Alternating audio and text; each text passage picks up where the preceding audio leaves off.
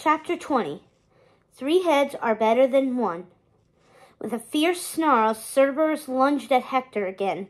Hector dodged the three heads and scrambled up the stairs, using all his super strength and speed to evade the ferocious rabid beast. Hector banged on the door, trying to get it to open back up, but it wouldn't budge. It was locked and stayed shut tight. He really was trapped down here. The acrid, sulphurous air choked his lungs. Smoke wafted up the stairs, obscuring the bluish light and making it hard to see anything. He glanced back into the smoke, struggling to see whether the dog was rearing back to make another strike. The smoke cleared slightly, and Hector saw that. Sure enough, Cerberus had retracted its heads, preparing to lunge again. Six yellow eyes caught the bluish light while three sets of needle-sharp teeth glinted, ready to devour Hector alive. He wasn't going to get away, but luckily he'd come prepared. Hector reached into his camera bag and pulled out a hunk of raw steak.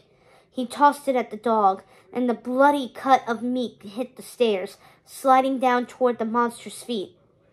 Good boy, Hector urged the three-headed dog. Dinner served. Go get it. With a surprised yelp, Cerberus pivoted and chased after the steak.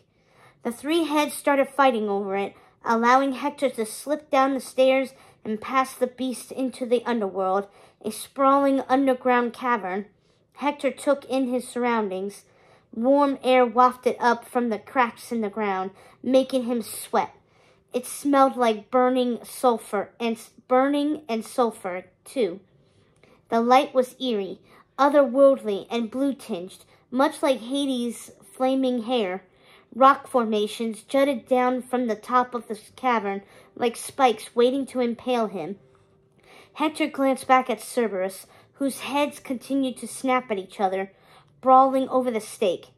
Just like me and my brothers, Hector thought, suppressing a grin despite his nerves. He'd stolen the steak from the fridge at home. He just hoped his mother wouldn't be too angry when she discovered that tomorrow's dinner was gone. Hades was, Hades was scary, but his mother could be scary too. Hector carefully tucked the Zeus cup into his camera bag, making sure that it was secure. Then he crossed an arched stone bridge over a fire pit, leading him deeper into the underworld. It smelled like brimstone, sulfur, and smoke. He crinkled his nose in disgust. Everything here felt like it was either on fire or could burst into flames at any moment, just like Hades himself. Ahead of him flowed the river Styx, winding, winding through the underworld. He recognized it from the books, too. Once again, feeling a surge of gratitude for May and her idea to research Hades in the library. Books really were like magic. They gave you the power of knowledge, which was the best kind. Across the river, a giant castle shaped like a skull towered overhead. That must be where Hades lives, Hector thought. The castle gave him the creeps. It was lit by blue torches, making the skull look alive with flaming eyes. It was almost as if it was watching him, waiting for him. Hector shuddered, feeling a fresh rush of fear, but he tried to shake it off. He had to save May, and he didn't have much time left. The alignment was coming soon. As he scanned the area for a way across the river, he made the mistake of glancing down into the watery depths in frozen fear. Ghoulish creatures swirled in the waters, thrashing at him. Their eyes were mournful, and their wailing mouths made them look like they were in a permanent state of torture. They lunged up at him, but the water's surface kept them trapped. They couldn't get to him. What are they? Hector wondered, trembling. This place was full of creepy monsters. He needed to hurry. There had to be a way to get to the castle. Then, in the corner of his vision, something appeared as if from nowhere. A boat. It was docked at the edge of the river, piloted by a skeleton waiting to ferry passengers across. Yeah, that's not creepy, Hector whispered to himself. He started toward the boat, when suddenly Something exploded out of the river and towered over him. It was Hydra, Hector had half a second to think before the river serpent lunged. He tucked and rolled away, just missing getting snatched up by the fearsome jaws. If Cerberus was freaky, this monster was way freakier and had even more heads. What's with all the heads? Hector hissed, recovering quickly. One isn't enough. As if the creature understood his insult, its many heads roared, the creature's breath smelled horrid. Hector grinned back in fear and disgust. Sorry, your heads are great. But clearly the river serpent couldn't take a joke. It lunged at him again. Hey, we can work this out, Hector tried, some somersaulting out of the way just in time. The creature's jaws tore into the ground next to his head, ripping into the rock and cutting into it. One inch over, and Hector could, would have been a goner. He raised his hands. Look, I just want to get across the river and talk to your boss man, Hector tried, pleading with the creature. We don't have to fight about it. You can just chill out in your super nice haunted river and let me go, Hydra roared again, cracking open its ferocious jaws. The creature prepared to lunge at him again. Hector didn't have a plan this time but he fell back on a proven strategy, one that kind of summed up his life. When in doubt, run for it. Hector sprinted for the boat, using his super speed. Hydra, Hydra gave chase, but Hector reached the boat first. The skeleton tilted its head, regarding him with empty eyes. Mr. Skeleton, hurry, Hector said. Please, take me to Hades. What makes you worthy of passage through the underworld? the skeleton said in a deep, musty voice. Clearly he wasn't in any rush either. He sounded bored. Uh, worthy? Hector stammered. He glanced back over his shoulder. The Hydra reared up behind him, ready to pounce again. The many heads ring- wriggled around. The skeleton leaned on his oar, staring at him impassively through empty eye sockets. If you can't prove you're worthy, you must pay the toll, the skeleton continued unperturbed. A toll? What do you mean? Hector guessed he'd seen a fair number of guests snatched up by the Hydra. It didn't bother him. The Hydra was coming, and it was coming fast. He had to hurry. Uh, I'm the champion. The true hero, Hector said, fumbling for his camera bag, trying to get it open and reach the trophy. And I'm the protector of the Zeus Cup. Then prove it, the skeleton said blandly. Hector struggled to get the bag open, then reached inside and gripped the golden handle. His fingers wrapped around it just in time just round it just in time. He held up the trophy. The luminous surface caught the light, throwing off blinding flashes of gold that lit up the cavern. The Hydra was about to lunge, but instead it reeled back, screeching in pain at the sight of the Zeus cup. It quickly dove back into the river Styx, swimming deep through the ghoulish souls until it was gone. The water sloshed back into place, rocking the boat. The skeleton cracked its jaws open and let out a dusty cackle. Or at least Hector thought it was a cackle. He couldn't be sure. Well, why didn't you say so in the first place? The skeleton rasped using his paddle to turn the boat around. Hop in, kid. The skeleton skillfully pi piloted them down the river toward the stone skeleton castle. Hector couldn't shake the feeling that he was being watched. It gave him the shakes. He peered anxiously into the water. Eerie eyes stared back at him from the depths. What are those? he asked, pointing at the creatures. Mortal souls, the skeleton rasped, whose thread of life has been cut by the fates. They're imprisoned down here forever. Hector swallowed hard. This was May's fate if he didn't save her. Maybe both their fates. Hector dragged his eyes off the souls. He tried to focus on the castle and what awaited him there. A few minutes later, they turned up in front of the castle. End of the road or rather, the river, the skeleton chuckled.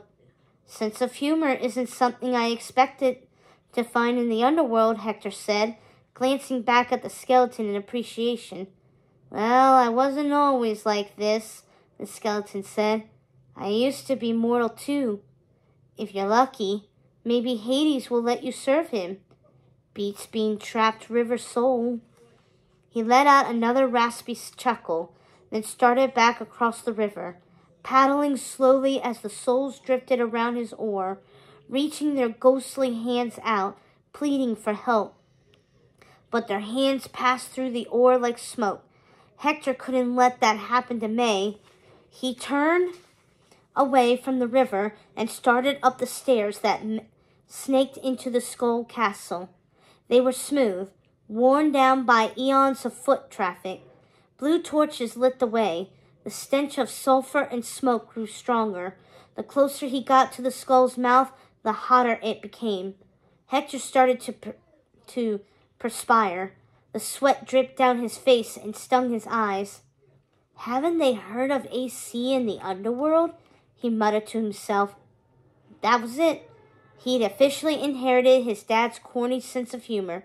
He knew he should be horrified, but he felt a strange sense of comfort, almost like his family was with him.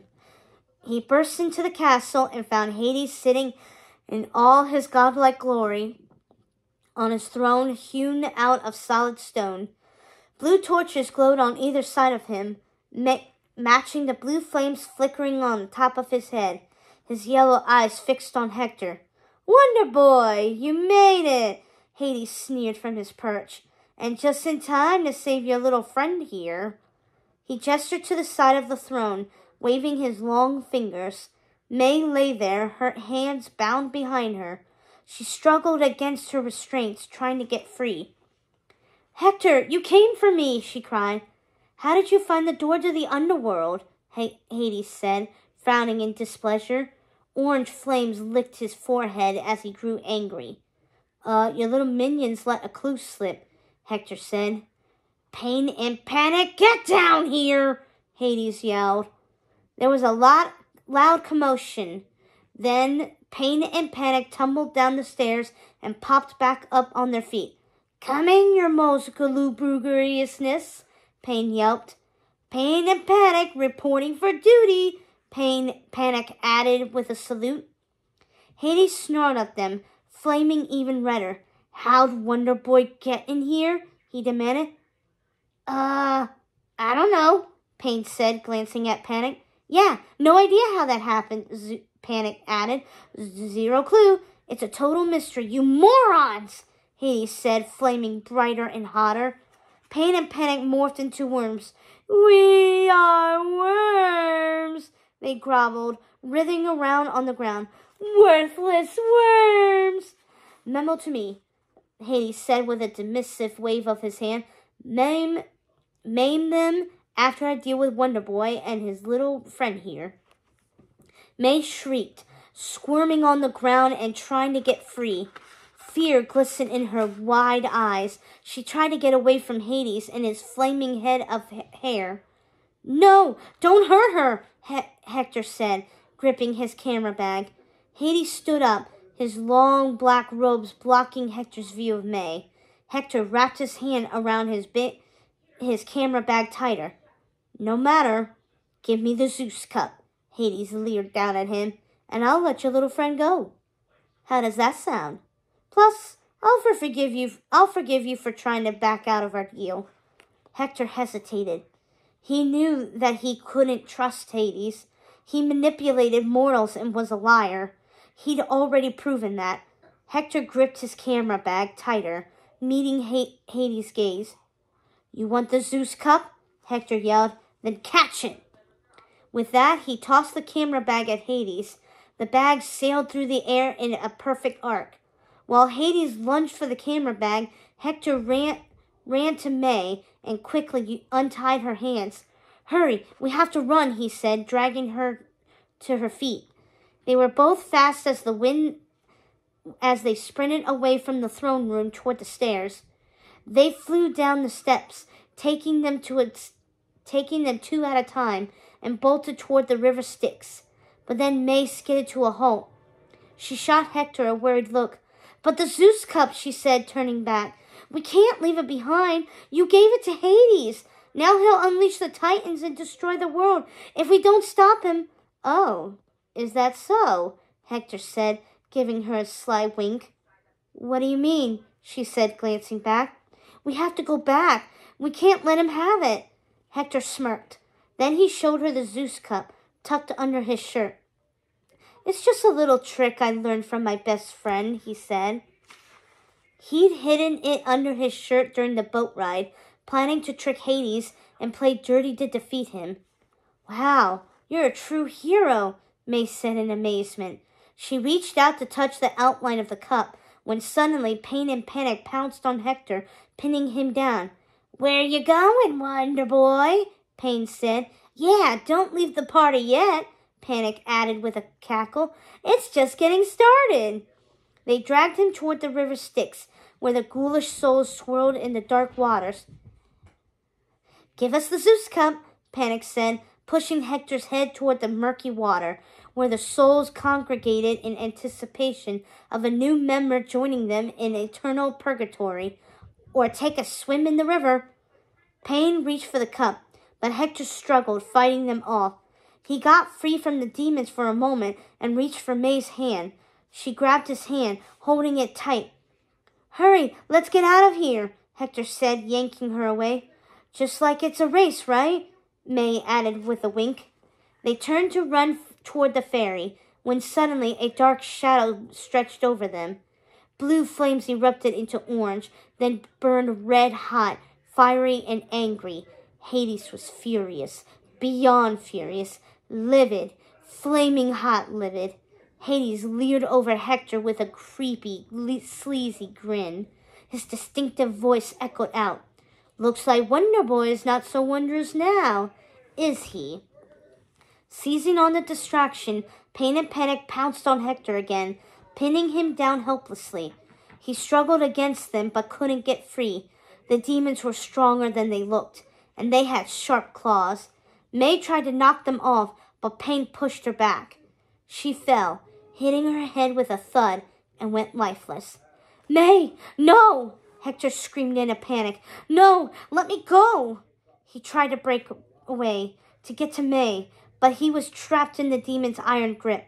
While pain and panic held Hector down, Hades towered over him, stretching out his long, thin fingers and reaching for the Zeus cup to claim it once and for all.